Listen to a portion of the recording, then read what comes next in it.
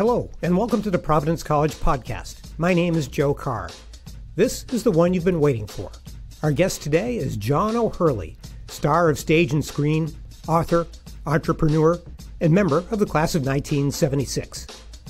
A prolific performer across movies, television, and theater, John is as versatile as he is accomplished. Who among us doesn't brim with pride just a little bit when we catch a Seinfeld rerun that features J. Peterman, or we tune in to the National Dog Show on Thanksgiving, knowing that we share Providence College DNA with John O'Hurley? In this interview, we talked about his student days and the PC people who influenced his career. We talked about dogs, and he went into the Peterman persona for just a minute. John, greetings from Friartown. Thank you for joining us today. Well, nice to be here. I can't think of a better place to spend some time. One thing people may not know about you is that your Providence College roots run deep. Your dad, a retired physician also named John, was a member of the class of 1948. Your brother Neil followed you here to PC. Let's start by talking about your dad. How's Dr. O'Hurley doing? He's wonderful. He's a 92 year old grandpa and uh, sharp as a tack. He still swims every day and has his uh, political discussions in the pool with his boys, B O Y Z, and uh, and uh, plays golf. So he's still active and keen, and he's actually uh, you know very accomplished uh, ear, nose, and throat doctor. And uh, to uh, to his credit, he is now still studying neurology and um, is also um, learning French. So as T.S. Eliot said, old men must be explorers, and he's a great example of that. So you were born just over in the New Hampshire border in Kittery, Maine. Was it always a given that you would come to PC? Well, it was always a possibility, uh, you know, because of course I grew up a big fan of uh, PC basketball, and even in the even in the '60s, I would uh, listen to the games on the radio at night. Uh, that, that uh, you know, the the weak AM radio signal uh, still uh, it was uh, still enough to to uh, to permeate into Hartford, Connecticut, or West Hartford, where I grew up most of my life. Uh, but uh, yeah, so I was always very, you know, PC was always a very strong entity, and uh, it was one of several choices that I was uh, looking at when it was time for me to come to college. Um, at the time, we were living uh, in Fort Lauderdale, so coming north to me was, uh, you know, kind of a change of scenery again. What was the theater program like when you were a PC student? Listen to my laugh. it was uh, uh, it was almost non-existent. Uh, you know, it was kind of a concentration uh, in uh, the humanities program. Um, it wasn't an actual degree. Um, uh, that uh, changed as I um, uh, stayed there, Providence. Um, and I think, if I remember correctly, I was the only theater graduate my senior year. So consequently, I won the theater award. Congratulations on that. That's good. Good Thank news. You. So. Thank you. that's, it's called thinning the herd. That's right. what were some of the influences on you when it comes to learning to perform? You had some opportunities, uh, obviously within a small group, but were there people here who kind of took you under their wing and, and really had some capacity for helping to point you in the right direction? Absolutely. Uh, I, you know, I knew from the age of three when people would say, "What do you want to be with when you grow up?" and with the sense of disgust that only a three-year-old can muster, I would point to the black and white television in the corner of the living room and I would say, Well, I am an actor, so that's what I'm going to be. And it wasn't that I wanted to be an actor, it was that I knew I was an actor. So for my entire life, always watching television and uh, and going to the movies, I always knew that I was supposed to be there. And I can't tell you why, I just knew. So for for me, growing up was really about kind of connecting those dots together.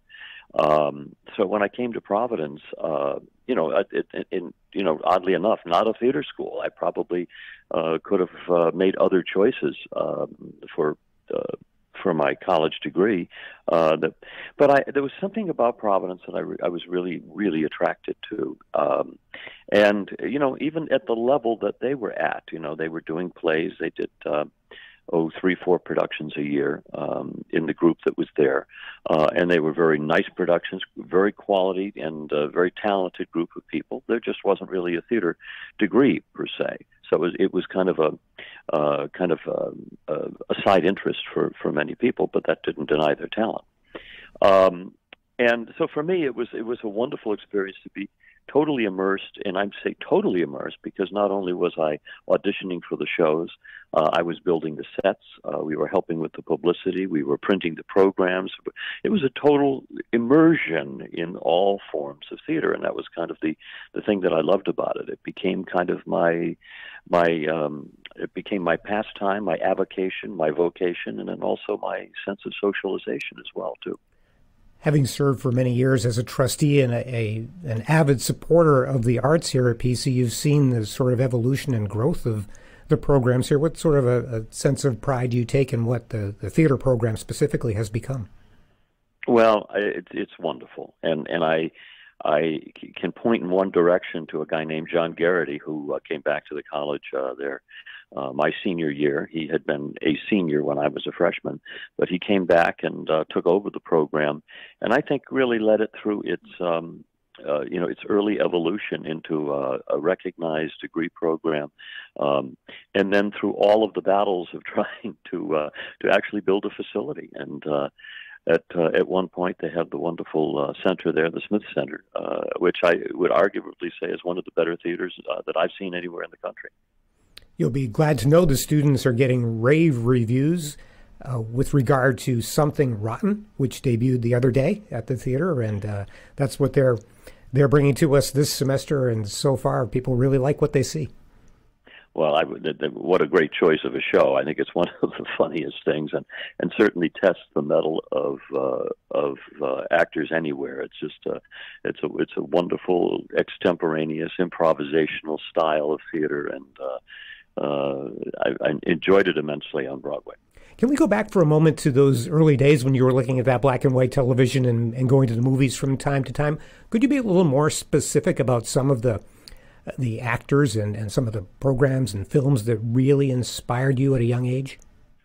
Well, I, I you know, I, I'd, I'd like to tell you there were things like Citizen Kane and things, things like that, things with those academic weight to them, scholarly things. But no, it was Romper Room. It was, it was uh, uh, the things that I was watching. The Munsters. I, you know, kind of uh, at the time when I was a young kid, I looked just like Eddie Munster. We had the same, we had that same dark widow's peak, uh, and coincidentally, Eddie, uh, uh, he uh, is is now a dear friend of mine. Um, so it's uh, it's kind of funny to have that big circle of you know to the kids that you you watched on television now as a now as a friend, but um, but those I mean it was just, I was just watching common television at the time, uh, but I was always supposed to be there. In fact, I'll tell you a story very quickly of uh, when I was ten years old. Um, I uh, I remember you know my connection with acting was was watching the Tonight Show, and I would I would uh, I would steal the uh, black and white portable television, uh, portable because it weighed 40 pounds, and um, stick it under my covers, and I would watch the Johnny Carson show every night, which is now now people know as the Tonight Show. But I would watch it because that's where actors went. And actors always had stories when they were on the Johnny Carson show. And true story, I actually I remember during a commercial break getting up out of bed, walking around the room with again with my hands on my hips, and frustrated to no end because I didn't have any stories and I didn't know what I was going to tell him when I went on the Johnny Carson show. Again, I knew I was supposed to be there. So you cut to many years later, and the first time that I was on the Tonight Show, and uh, it was with Jay Leno, who had uh, taken over for Johnny Carson. And I remember sitting in the chair next to him, and he asked me to stay through the break. Uh, this was uh, during the Seinfeld days, and um, so I did. And uh, while he was going through his notes and his producer was queuing him up for the next uh, segment, um, I was just sitting there with my hands on either arm of the chair, and I was looking out at the audience there. And I had a, apparently an expression that was uh, kind of perplexing because he looked over at me and he says, "John, you okay?" You know, and that voice of his that was kind of like this. Um, and I said, "No," I said, "I'm fine." I said, "I was just looking out there and saying hi to a ten-year-old kid." Oh, that's nice. True that's story. nice, right? And when you get asked, get invited to stay through the break, that's a great sign on, the, on a show like it's that, right? So that's yes, wonderful story. It's such a long road for somebody like you because so much difficulty you have to endure, the heartbreak and the, the hard times, but to finally succeed is really an incredible achievement. Do you remember a point in time where you said to yourself, "I've made it. I'm going to be able to to make this my my life's work, being a performer"? Well, you know, you never know. It's it's because uh, you know it's like if if I was playing basketball in the NBA, I would know my career was ending when my knees went out, um, and uh, you know I was losing my speed. You know, there's a definite there are definitive uh, means of of um, of the longevity and the style of your career, but not so with acting. Uh, you know, you just never know. You know, I'm hired to be fired, and every job I ever have will eventually end, and I have to know that going into it. And there's always the constant need to stay relevant to this business. Um, the business is very unkind. It's very subjective. There's the deck is always stacked against you. There's always more people that want uh, an opportunity than um, than than opportunities are available. So you have to know that going in, and so you have to develop a pretty thick skin, and that rejection is just somebody else's opportunity. And uh, and I've been rejected many, many times. I don't take it. I try not to take it personally, uh, or if I do, I allow myself to mourn for 24 hours, and that's it. Uh, and I move on, and I just decide that it's some, it was somebody else's opportunity, and good luck to them. Um, so you have to have a healthy perspective on the thing, uh, on uh, on entertainment, because it's uh, it's a very it's a very cruel uh, it's a very cruel mistress. So many of the things you've done, you have done, in fact, all of them, as far as I know, require certain measures of confidence, determination, ability to bring that perspective that you just mentioned into into what you're thinking about in in the right measures. I'm thinking of, of course, acting, also writing books, operating a business, the J. Peterman Company. Can you draw any of those attributes back to your PC experiences or even your PC heritage?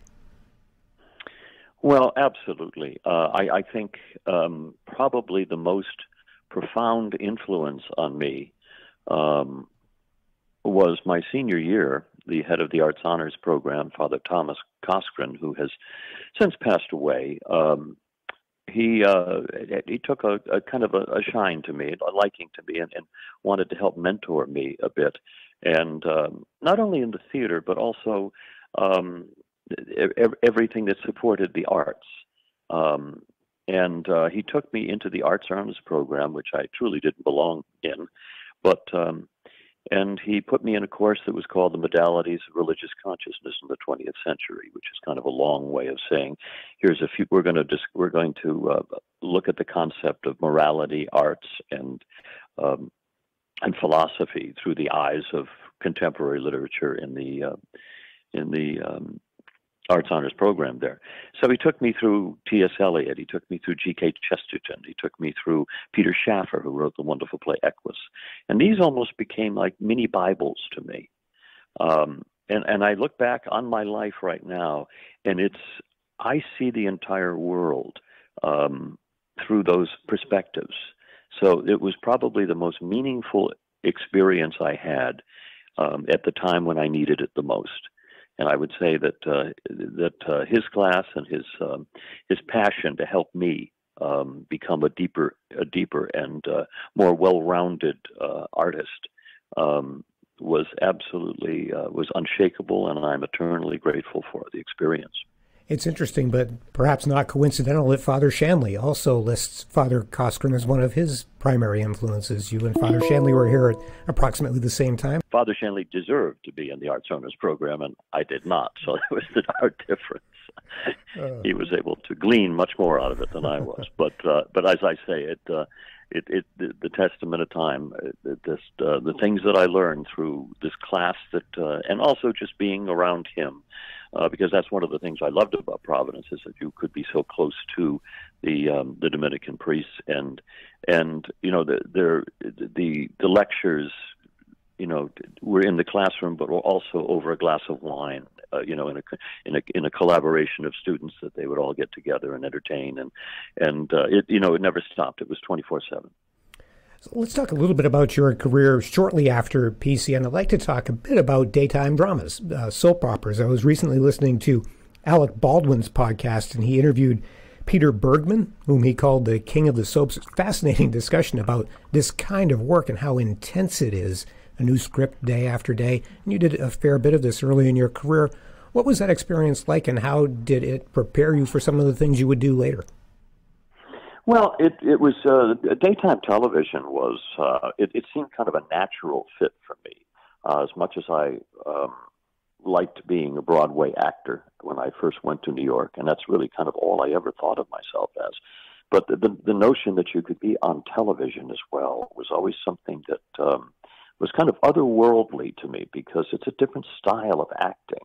When I'm on stage, I have you know I have this entire vacuum out there. I have this entire oh. arena out there in front of me.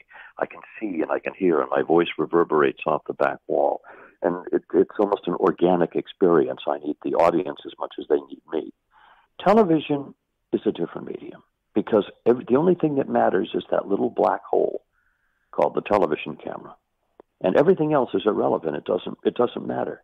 So you find this incredible amount of energy that is being demanded by that little that little little black hole, and um, it's it's very awkward for an actor to learn how to all of a sudden uh, act on television. That less is more. That you do less with your. You don't have to. get, You don't have to hit the back wall with your voice because they have microphones. Um, you don't have to move your your face too much because um, uh, the television camera does all the work for you. So it's just it's a different style of acting, and uh, it certainly took me a while. Uh, I started on the edge of night in '83. Um, and then my experience went all the way in through the early 90s on daytime. I did some of the um, kind of, uh, uh, I was uh, kind of pioneering uh, some of the things. Uh, I was the first uh, twin brothers on daytime television back when I was on Loving on uh, ABC. One of them had come back from the dead, and uh, the other one was just an awfully good guy. And uh, so, uh, um, obviously, the the the evil one had come to town to impersonate the other one, and uh, locked me away in a prison with a guarded by a do- Doberman. And uh, as as strange as that all seems, it seems to work on daytime without much much logic. Well, I'm sure you um, you made it work, uh, right? So. Well, I, you know, it was very fun. I, I had a great great deal of fun. But uh, the PS to that was uh, they had to find a body double for me to be able to um, to do both characters so that they could shoot over the shoulder of the body double to my face and then reverse it the other way around when they needed to do the other character. So they had to find a body double that looked as much as they could like me, and they found this guy who was the a bouncer down at a nightclub called the uh, the Limelight, an old church down in Lower Manhattan, and it was uh, a, a, a well recognized uh, uh, disco after hours. So anyway, they pulled him and they used him as my body double for nine months. And he was always talking about the play that he was writing. And he, at the time, I always felt he was a terrible actor. And I just said, just tell him not to talk. He's kind of D's, dems, and does. And, and I said, I, it's just throwing me off. Um, and the play that he was writing was the play of his life and growing up. And I would comment to him, well, I would say, well, good for you. and uh, turns out it was Chazz Palminteri, and what he was writing was Bronx Tale. Wow. Yeah, that was my body double. And Chazz and I are still good friends. Chazz and I will always be good friends, and we can't see each other without uh, both both of us pinching ourselves to say that uh, we had a we we had a, a time in life together. That's I would have sworn that you're a lot taller than he is. No. Uh, no, actually, okay. no. Chazz is actually quite tall. Oh, about that. About that. Right. It's a great story. So, um, the National Dog Show, John, is coming up later this month, the 18th year for that. Thanksgiving Day on NBC. It's really a phenomenon. Great uh, entertainment for families and, and people who love dogs on a holiday. You must take great pride in what that has become. Well, I you know I take I take great pride in the fact that uh, you know we allow the dogs to become the stars. It's very little that David and I, my co-host David Frei and I do. We just let the dogs be, and I think that's probably our best posturing is to make sure that the dogs become the stars that it really is all about them. So we do very little in terms of on camera stuff there, and it's mostly just talking about the dogs and the celebration of the history of breeding in the country. But it's a it's a great piece of programming where you have um, 30 million plus people watching. Uh, two hours of television right after the Macy's parade and right before uh, football begins. So it's a great family event, and it's something that everybody, whether you're four or you're 94, uh, there's something in it for you and it celebrates the thing that you know mo- most of America has and most of America loves our dogs. Between that show, the Easter weekend dog show on NBC, and your books, canines are obviously a, a big part of your career. So, what is it about dogs that, that appeals to you so much? Well, I've um, as I wrote in one of my uh, first first book, uh, I think uh, I wrote this. Uh, I said, "I'm a better person with a dog in my lap," and, and uh, I think it underscores what dogs do for us. They round off the edges in our lives, and I can't really remember a time in our lives when we didn't have a dog. You know, there was always a a, a breed in our house, and uh, we always had um, wonderful, wonderful dogs, uh, and uh, you know they, they were kind of the measure of my life. I was wondering about your first dog. What do you remember about about your first dog? Well, I remember quite um, quite well. In fact, I do talk about that first dog in my one man show that I tour around the country now. Um, it was uh, it was a little uh, it was a little dachshund named Taffy, and Taffy was a little chocolate uh, colored uh, dachshund, and would wait for me to come home from first grade because at that time in my life I had discovered my secret hiding place. Uh, we were living in just outside of Boston, Natick, Massachusetts, and uh, at the end of the cul-de-sac uh, there was a there was a pond, which is actually more like a swamp. Uh, but that was my that was my kingdom at the end of the day, and for a little boy, that's probably the most interesting place they can spend their hours. And uh, I would circumnavigate the uh, the the swamp every day with Taffy following behind me and uh, that was back when you were allowed to do those things, and you had to be home by uh, by dinner time. Um, but we would walk around and turn over rocks and stones. I had my net there, and we would catch uh, frogs and turtles and anything that was uh, moving, and kind of play around with them. And then, um, and then, if I was lucky enough, I would get to the rock outcropping that hung over the pond, and and I would um, watch the uh, the train go by at 4:30 in the afternoon up the eastern seaboard from uh, coming up from who knows where and heading who knows where. But it was uh, the train heading to Boston. And I remember sitting there on that rock and um, with Taffy and uh, and listening for the for the sound that the sound of silence that the train left as it would uh, rattle on down the tracks. And I was always very just very overwhelmed by the stillness that would be left there. And I think that's where I became kind of I think I started to develop the more poetic side of myself there and Taffy was always my companion. And the great thing about dogs is that they know not to say anything; they just to listen. I've always thought about the dogs in my life that they wake up and think, "What can I do to make these people around me happy?" it's such a nice thing, exactly. isn't it? Yeah. It, it, really is. I, I think it's uh, it is kind of the um, the, the reminder that uh, there are guardian angels. I'd like to talk a little about Seinfeld. So, in what mm-hmm. ways did Seinfeld change your life? Well, from the sheer visibility of being on the number one show in the history of television, that certainly you can't you can't beat that. I'll tell you. Uh, and it was fun to play a character that they was just kind of be otherworldly in terms of uh, the the arc of the character from what it started and to where it ended. I mean, he became a, a kind of a, a raving corporate lunatic uh, at one point, and uh, and it was just a lot of fun to play and just watch the writers get, have so much fun writing.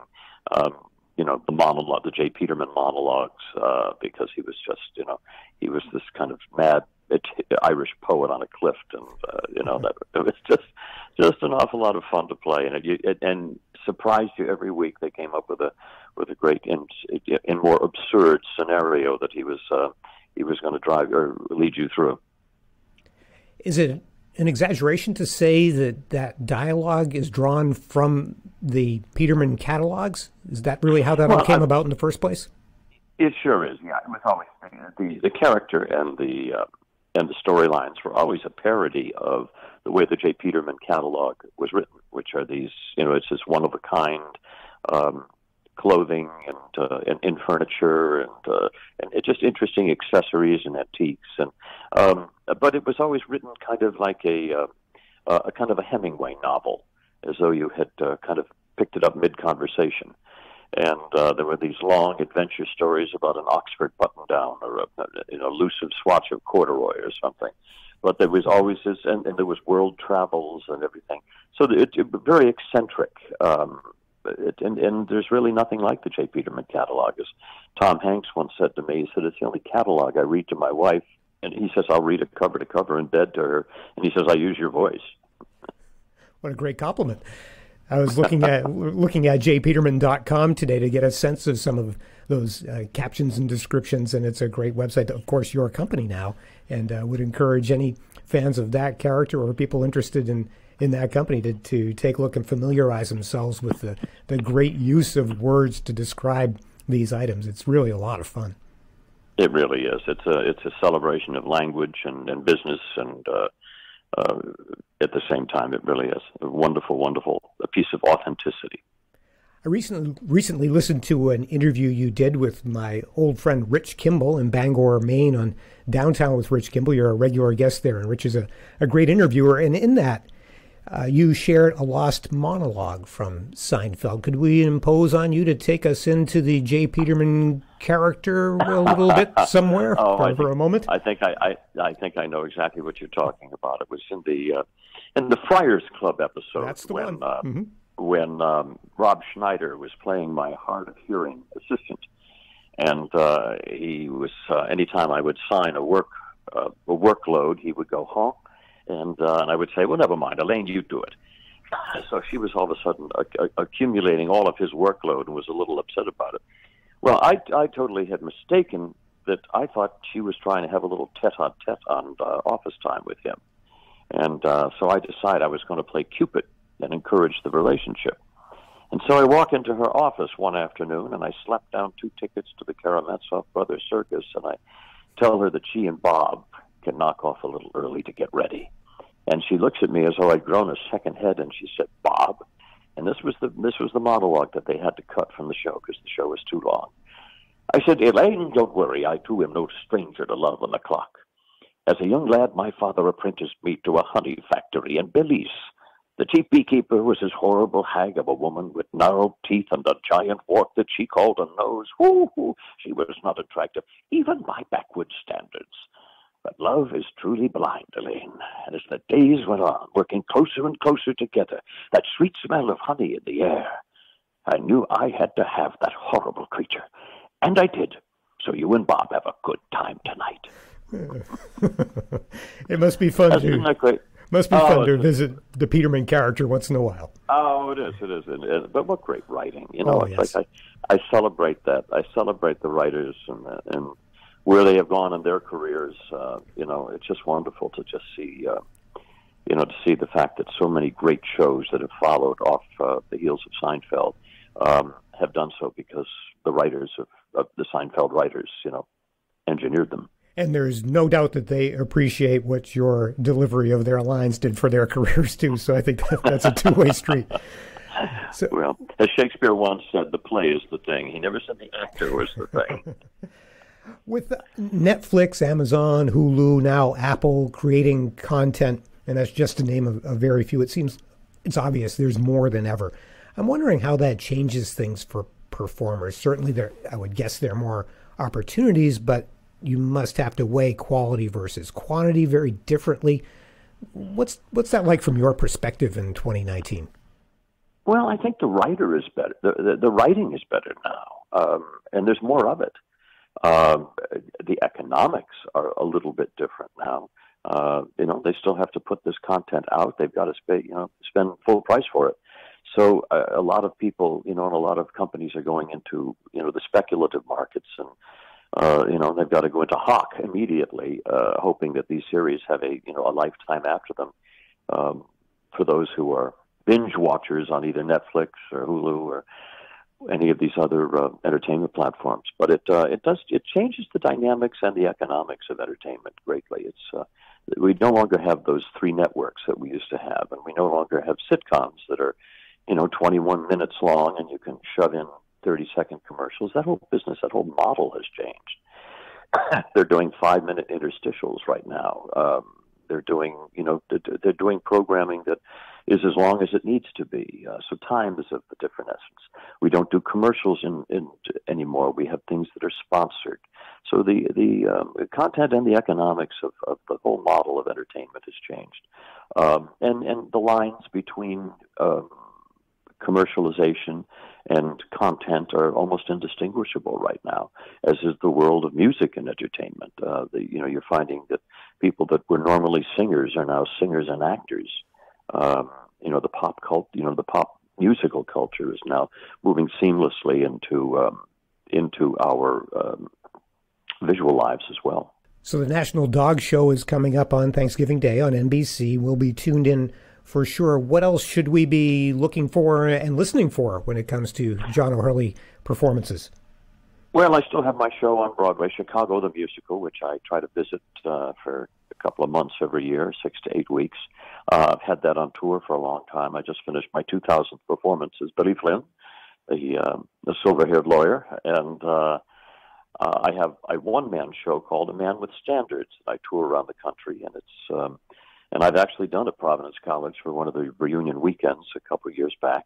But I, uh, it's a show. Uh, it's kind of a musical memoir uh, that I've written about the stories of my life, and also the good fortune I had to grow up in the 50s and the 60s around the music of the the standards, the Great American Songbook, and and at the same time, lucky enough to grow up in the shadow of men who had standards. My my father and and and his ilk, the uh, the gentlemen of that that period of time, and I and I talk a lot about it, and I talk about how lucky I was about you know, growing up at a time when the music and the manners were indistinguishable. It was the way we related to each other and the um, and the way we communicate with, with each other. You've been very generous with your time, John. We really appreciate it. And there's one more thing I'd like to uh, hear you talk about just a little bit, and that is that you are really dedicated to an important cause and trying to help other people. And this relates to epilepsy and uh, sudden unexpected death syndrome and you're really involved in some serious research there on this this important and and really kind it of is, frightening yeah. matter. It, has a it has, yeah it has a very personal uh, attachment to it because I lost my sister back in 1970 uh, to sudden death in epilepsy, uh, and we didn't know anything about it back then. Uh, but there is a syndrome within the epilepsy, and epilepsy affects um, million, millions and millions of people. Over three million people in the U.S. Uh, have uh, epilepsy, and uh, and about uh, several thousand of them die every year for no reason, and no one know, can explain why. And most of them are children, and it's uh, it's heartbreaking. Uh, the stories I, I read from people that have communicated with me over the internet on the, the stories of, of, of having lost a brother, a sister, a, a son, or a daughter, and uh, it's just heart heart uh, rending. But um, there hasn't been any research done over this this thief in the night, as I call it. Uh, and so I'm trying, I'm taking this next two years and raising the money that's necessary for what we're calling the biomarker challenge in SUDEP, and that is the idea of uh, trying to find a biomarker which would give the database that will be necessary to find a cure for this. Uh, that's as, as we all saw a sudden infant death syndrome maybe a, a couple generations back.